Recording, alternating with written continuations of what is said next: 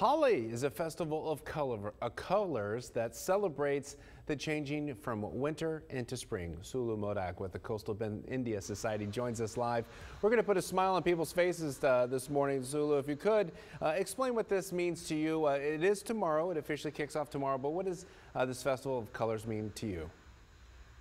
Yes, so Holi is also known as the Festival of Colors and is one of the most vibrant festivals from India.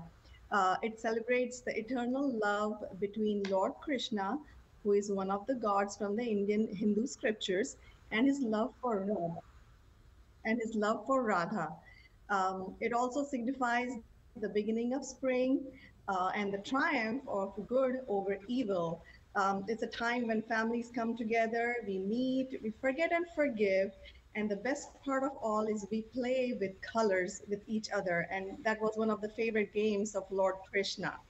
There's a large Indian community here in the coastal bend, very active, always inviting the community out. Y'all had your health fair uh, last year and food festival. My wife and I attended. It was amazing. What can people expect this year? Because you have a big festival planned for the end of the month. Is that right? March 25th? That's Saturday? That is, that is right. Uh, so March 25th, the Coastal Bend India Association will be having their annual Holi Festival at the temple, which is off of Mackenzie. There'll be lots of food, uh, games, uh, and of course, the colors.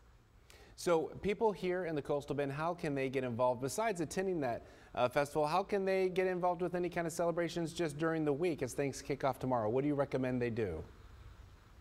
So during the week, I would say, you know, visit the temple. The temple has activities going on all the time.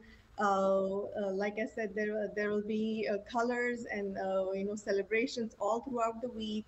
You can call me and or even the temple and get involved uh, and be part of the celebration. Well, Sulu, thank you so very much for joining us this morning. I'm glad we could uh, could let our audience know about what's going on and, and take part in these celebrations. And is, what, what's appropriate? What's the custom? Is it to say Happy Holi Day, or what do people say? Actually, we just say happy Holi.